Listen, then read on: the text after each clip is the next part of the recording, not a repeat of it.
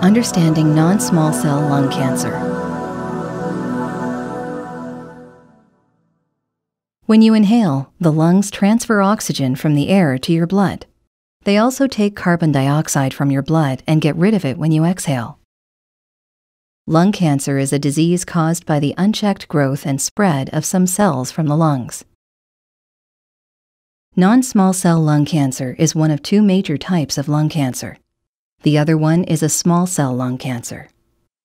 The most common subtypes of non small cell lung cancer are adenocarcinoma, squamous cell epidermoid carcinoma, and large cell undifferentiated carcinoma. Non small cell lung cancer is the most common type of lung cancer and affects about 8 of every 10 people with lung cancer. There is no single cause of non small cell lung cancer. Like most other adult cancers, non small cell lung cancer is caused by a buildup of damage to cells. Over many years, this damage changes some cells so that they can grow, multiply, and spread unchecked. If a cancer isn't completely killed or removed, it can spread to other organs. A cancer that is spread to another site is called a metastasis. There are two types of risk factors for non small cell lung cancer risk factors that you can change, and risk factors that you can't change. Risk factors that you can change are smoking, being exposed to secondhand smoke, radon, like in a basement, asbestos, by working in mines, mills, textile plants, or with old insulation, uranium and other radioactive materials, chemicals like arsenic, coal products, and diesel fumes, and arsenic in drinking water.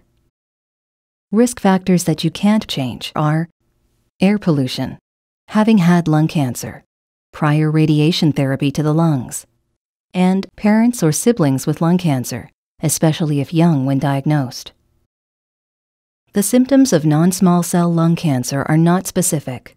Possible symptoms are a cough that doesn't go away or gets worse, coughing up blood, rust colored spit, hoarse voice, unexpected weight loss and loss of appetite, shortness of breath, feeling tired or weak, a lung infection, such as bronchitis or pneumonia, that won't go away, and wheezing with no known cause, like asthma.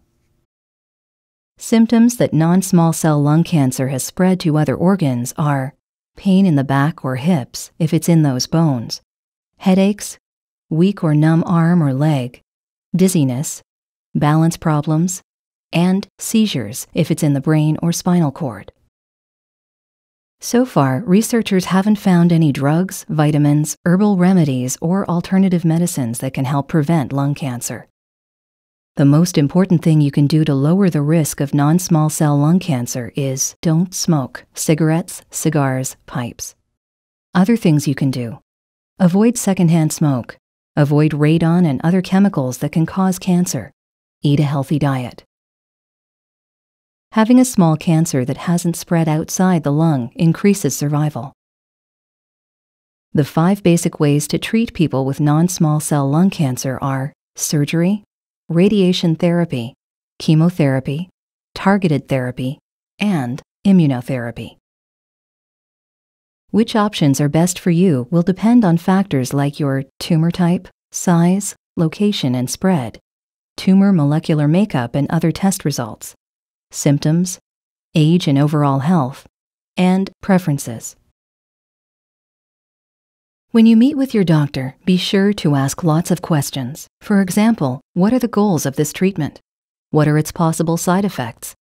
Explain your worries and wishes. Get a second opinion. And ask if there are any clinical trials you could join. Ask your doctor if your cancer can be cured. New treatments have helped people with non small cell lung cancer live longer than ever before.